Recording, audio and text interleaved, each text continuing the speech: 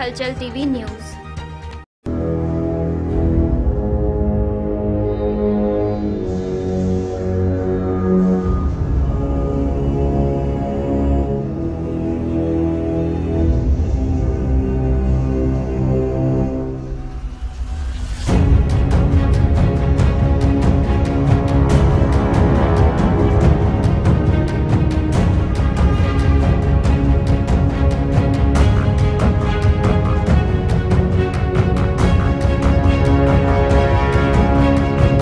Lockdown ਵੱਲੋਂ ਪਹਿਲਾਂ ਰੋਜ਼ਾਨਾ ਕਰੀਬ 700 ਲੋਕਾਂ ਨੂੰ ਸਿਰਫ 10 ਰੁਪਏ ਵਿੱਚ ਦੁਪਹਿਰ ਦੇ ਪੌਸ਼ਟਿਕ ਭੋਜਨ ਉਪਲਬਧ ਕਰਵਾ ਰਹੀ ਰੈੱਡ ਕਰਾਸ ਵੱਲੋਂ ਸੰਚਾਲਿਤ ਸਾਂਝੀ ਰਸੋਈ ਜ਼ਿਲ੍ਹੇ ਵਿੱਚ ਕੁਆਰੰਟਾਈਨ ਕੀਤੇ ਨਾਦੇੜ ਵੱਲੋਂ ਪਰਦੇ ਸ਼ਰਧਾਲੂਆਂ ਦੀ ਸਹੂਲਤ ਲਈ ਫਿਰ ਪ੍ਰਸ਼ਾਸਨ ਵੱਲੋਂ ਸ਼ੁਰੂ ਕੀਤਾ ਗਿਆ। ਹੈ ਲਾਕਡਾਊਨ ਦੇ ਚਲਦੇ ਬੰਦ ਕੀਤੀ ਗਈ ਸਾਂਝੀ ਰਸੋਈ ਹੁਣ ਰੋਜ਼ਾਨਾ ਕਰੀਬ 250 ਲੋਕਾਂ ਤੱਕ ਤਿੰਨ ਵਕਤ ਦਾ ਪੌਸ਼ਟਿਕ ਭੋਜਨ ਉਪਲਬਧ ਕਰਵਾ ਰਹੀ ਹੈ।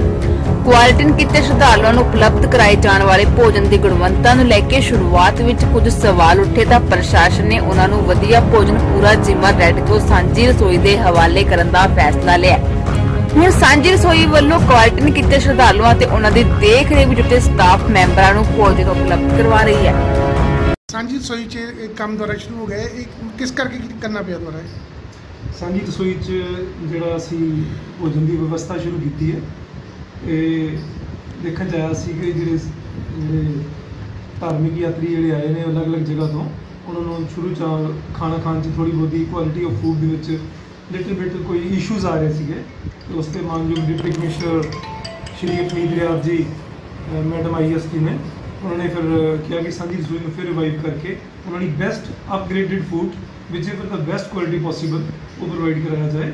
ਤਾਂ ਕਿ ਉਹਨਾਂ ਨੂੰ ਆਪਣੇ ਘਰਾਂ ਤੋਂ ਕੁਆਰੰਟਾਈਨ ਰਹਿਣ ਦੇ ਵਿੱਚ ਕੋਈ ਡਿਫਿਕਲਟੀ ਨਾ ਆਏ ਉਸ ਸਿਲਸਿਲੇ ਵਿੱਚ ਜ਼ਿਲ੍ਹਾ ਰੈੱਡ ਕਰਾਸ ਸੁਸਾਇਟੀ ਜਿਹੜੀ ਸਾਂਝੀ ਰਸੋਈ ਹਮੇਸ਼ਾ ਤੋਂ ਚਲਾ ਰਹੀ ਸੀ 3-4 ਸਾਲ ਤੋਂ ਟੈਂਪਰੇਰੀ ਹਾਲਟ ਕਰਨਾ ਪਿਆ ਸੀ ਸਾਂਝੀ ਰਸੋਈ ਨੂੰ ਬਿਕਾਜ਼ ਆਫ ਸੋਸ਼ਲ ਡਿਸਟੈਂਸਿੰਗ ਕਰਕੇ।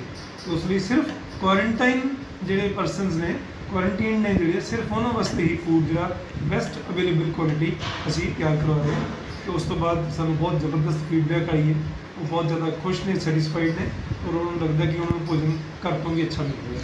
ਕਿੰਨੇ ਬੰਦਿਆਂ ਦਾ ਰੋਜ਼ ਖਾਣਾ ਜਾ ਰਿਹਾ ਜੀ ਇੱਥੋਂ? ਇੱਥੇ ਨੰਬਰ ਆਫ ਕੁਆਰੰਟਾਈਨ ਪੀਪਲ ਜਿਹੜਾ ਡਾਇਨਾਮਿਕ ਹੈ ਬਿਟਵੀਨ 150 ਟੂ 250 ਦੇ ਵਿੱਚ ਰੋਜ਼ ਖਾਣਾ ਜਾਂਦਾ ਹੈ।